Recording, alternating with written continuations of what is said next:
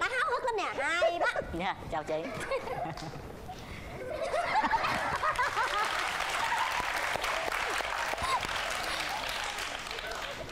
Được không được không? Cười không thấy tổ quốc đâu. Có một cái răng khểnh còn nhiều không có răng. Nói chung là em là em thấy được đó. Nói chung là cân đối đó mà không biết bạn gái em thấy sao rồi để em hỏi nha em nghe chị diễn tả chưa dạ rồi Em thấy sao, em thấy sao? trời em thấy là không biết là anh ấy từ hành tinh nào xuống Ta hy vọng rằng à, trái tim của chúng ta sẽ có màu hồng liên tục à. Và bây giờ xin mời toàn thể quý vị hãy hướng mắt lên sân khấu để dòm bạn nữ của chúng ta như thế nào. Xin mời bạn. Wow. Mời em ngồi đây, em ngồi đây. Để chị ngắm em một lần nữa cái đã nha. Quá là duyên dáng. Em có thể tự giới thiệu về mình. Em tên tên là Vũ Thị Kiều Linh. 20 tuổi, em đang là sinh viên năm 3 của trường Đại học Ngoại thương Wow. Một vấn đề nữa mà em rất là muốn nói đây với chị và tất cả mọi người là em rất là cô đơn Và đang muốn tìm à, một người nào đó có thể sưởi ấm cho em trong mùa đông này Dạ, chị tin chắc chắn rằng khi em đến với chương trình Bạn Muốn Hẹn Hò Thì trái tim em sẽ được sưởi ấm nè. Anh Linh ơi. Các tường ơi đừng nói nữa đừng nói nữa. Anh nghe rồi chứ gì? Anh nghe rất là hấp dẫn hình như Đó. không chỉ có người con trai đang chờ đợi trong kia mà trái tim của anh tự nhiên bây giờ nó sao xuyến làm sao ấy. Xin mời à, người con trai của bên này xuất hiện. Wow. Chào bạn mời bạn ơi à, ấn tượng của tôi là hình như có râu quay nón. À, bạn tên là gì? Dạ, em tên là Trần Thiện Toàn. Trần Thiện Toàn. Yes. à, tên nghe ấn tượng nha. À, coi như là hoàn thiện ha hoàn mỹ tất cả mọi thứ có hết ha. Lúc ba mẹ đặt tên chắc cũng hy vọng như thế. Năm nay bao nhiêu tuổi? Dạ, năm nay em 27 tuổi. 27 em làm à, nghề gì? Dạ, em kinh doanh tranh tranh ảnh ạ. Tương lai có thể sẽ thành một họa sĩ họa sĩ. À bên kia nghe chưa? Cô gái đang chờ một trái tim à, nào đó để sưởi ấm à, trong mùa đông lạnh giá này. Bây giờ trái tim em như thế nào? Trái tim á, trái tim thì bây giờ đang ờ, thổn thức. Thổn thức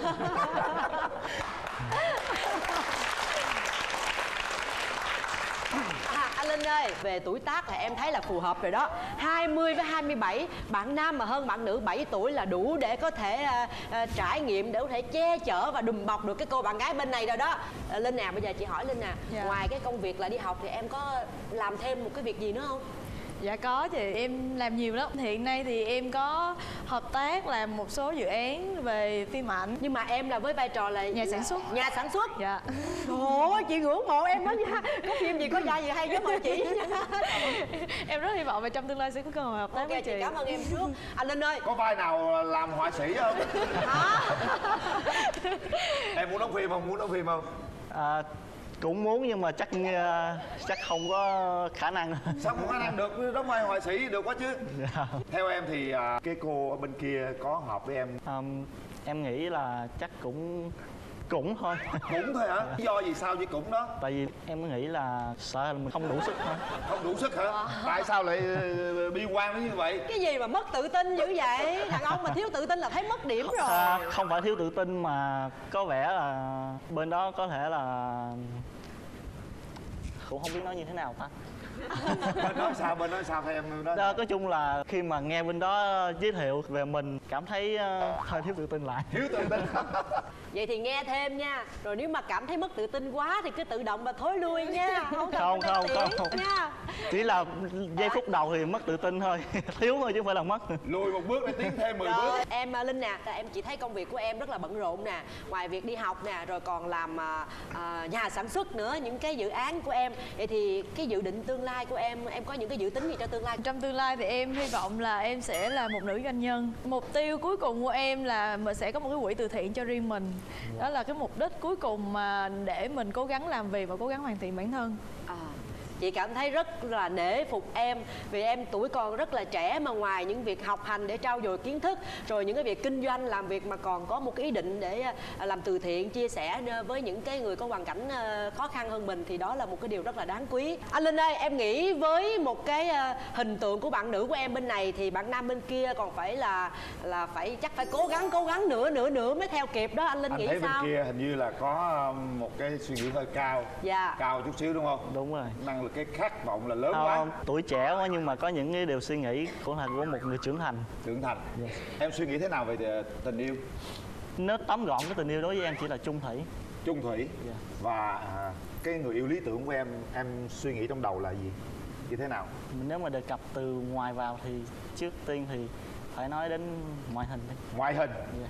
ngoại hình như thế nào mập Chỉ cần- lùn mang chén đen hay là chỉ cần ờ, một người bình thường nhưng mà dễ thương tí xíu là được. Nhìn bắt mắt thôi là được thích à, ốm à, tí xíu gầy gầy hay là thích à, ờ, to khỏe?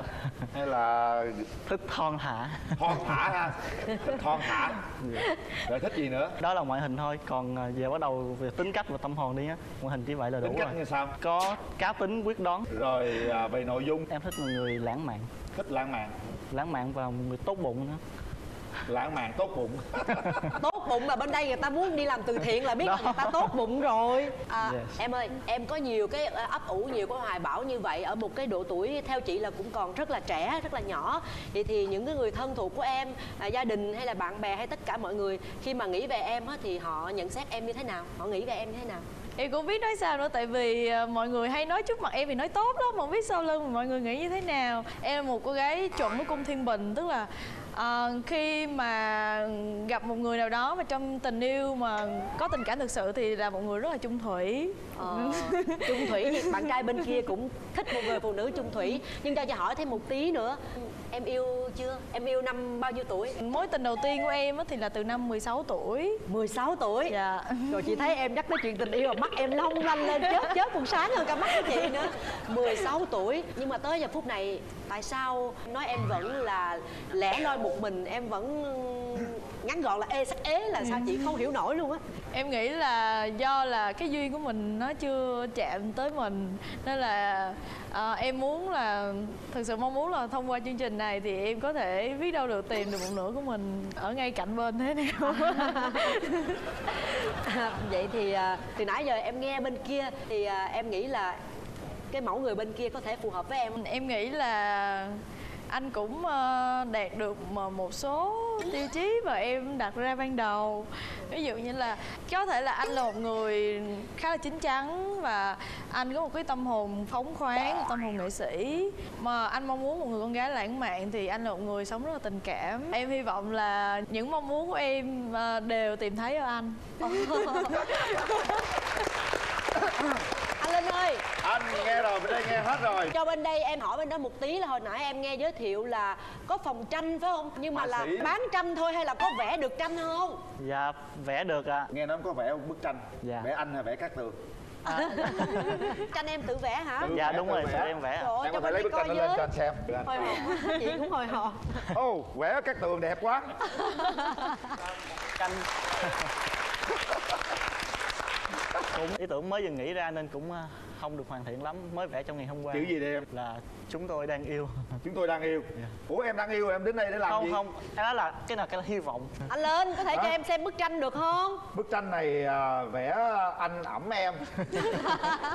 Hấp dẫn chưa? À, linh ơi trước khi mà được xem bức tranh của bạn kế bên đó thì em có thể cho chị biết về cái à, mẫu người bạn trai lý tưởng của em là như thế Dạ. nào? Em thì em không có tiêu chuẩn gì nhiều cho người đàn ông của mình cả. Quan trọng là hai người có tình cảm với nhau Có thể yêu thương nhau và người con trai có thể đùm bọc lo lắng Quan tâm chăm sóc cho người con gái là được rồi. Cái đó là chỉ mới là cái nội dung thôi. Dạ. ý đây chị đang hỏi về hình thức hình thức bên ngoài. Em không có tiêu chuẩn riêng về ngoại hình Nhưng quan trọng là người đó ờ, cân đối về mọi mặt là ok. Trời ơi cái từ cân đối này mới ghê đó. Anh linh bên đó có cân đối về ngoại hình không anh cân linh? đối lắm bên đây cân đối lắm nha bây giờ em có muốn à, nhìn chàng trai bên đây có cân đối hay không? Dạ em rất là háo hức. Nãy giờ đang rất là hồi hộp và háo hức có chia sẻ với em như vậy rồi bây giờ à, để à, anh qua bên kia xem trước coi đối phương của em thế nào ha. Rồi thông báo lại cho em nha. Dạ dạ. Bên đây là hoành tráng rồi đó. Wow. tự tin lên em. Tự tin lên em. Ngước mặt lên. Đó. rồi tìm có đọc không? Đập loạn nhịp loạn nhịp. Nãy giờ nghe nói dễ thương quá. Dạ. để xem thử coi sao nha. Nghe giọng nói thôi. Nghe giọng nói phải không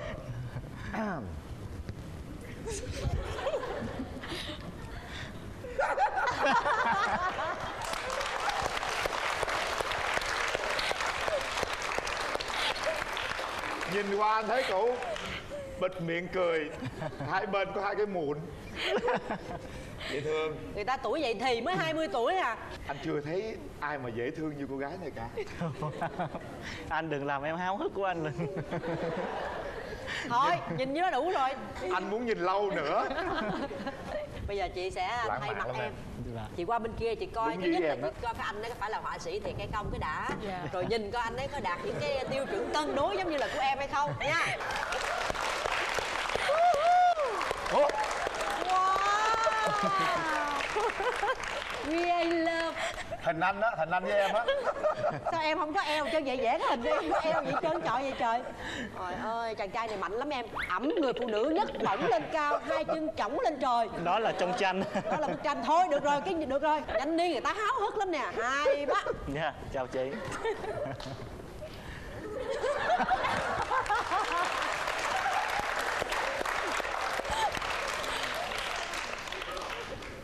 được không? Được không? Cười không thấy tổ quốc đâu. Có một cái răng khểnh, còn nhiều không có răng. Nói chung là em là em thấy được đó. Nói chung là cân đối đó, mà không biết bạn gái em thấy sao thôi, để em hỏi nha em nghe chị diễn tả chưa? Dạ rồi. Em thấy sao em thấy sao? Trời, em thấy là không biết là anh ấy từ hành tinh nào xuống. Anh linh ơi em nghĩ là mình không có nên để cái giây phút này kéo dài lâu đúng hơn. rồi bây giờ chúng ta sẽ tạo điều kiện cho hai cho hai cái cân đối gặp nhau đi. Chuẩn bị. Chưa từ từ. Nghe nôn nao quá. quá nôn nóng quá. Mang đâu kéo lên. À. Kéo lên. Bây giờ các bạn sẽ có 2 phút để nhìn nhau bắt đầu wow chào em em chào anh. rất vui được gặp em. Em rất vui là được gặp anh. Em tên là thùy linh. Anh tên là thiện toàn. Dạ. Hai mình để tên kế nhau thì là tên là toàn linh hoặc là linh toàn đúng không? Nghe nó hơi kỳ kỳ kỳ anh linh đứng ra nhìn quá sao nói chuyện nữa? Hai phút nhanh đi nhanh đi nhanh. Nhìn hoài. Em rất là ấn tượng với lại đôi mắt của anh. Wow, cảm ơn em. Ấn tượng về cái gì? Là không có thấy biết nhắm hay mở? Em không biết là đi ngoài đường thì người ta có biết là anh đang say hay là đang tỉnh không? Không người ta ngoài đường có lẽ không biết nhưng mà người thân thì sẽ biết tại vì anh không có uống bia hay rượu gì hết. Hết giờ rồi. chưa chưa chưa còn 30 giây nữa. Nhanh lên nhanh lên. Anh có sở thích gì khi ờ, khi mình ờ, có thời gian rảnh? À, anh thích ờ, cà phê À. hẹn hò và xem phim. Dạ. Hy em vọng ờ, sẽ mời được em đi xem phim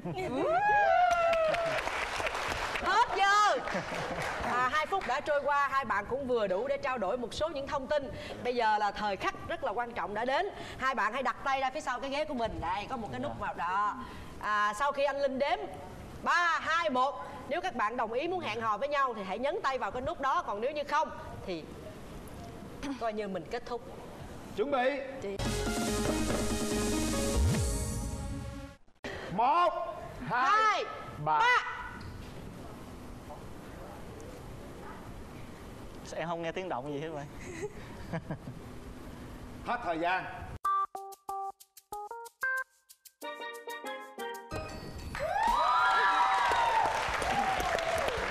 Mặc dù hơi chậm nhưng mà là cũng đọt cuối cùng thì tôi cũng đang rất hồi hộp. Rồi như vậy là trái tim đã màu hồng trọn vẹn. Chúc mừng hai bạn. Cảm ơn em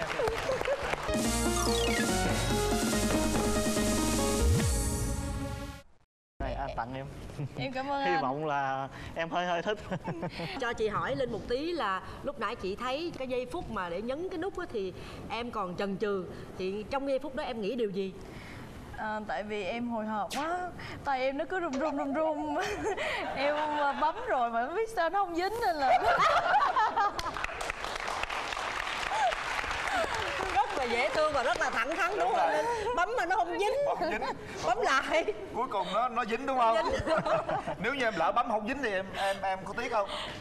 Chắc em khóc nguyên tuần sau.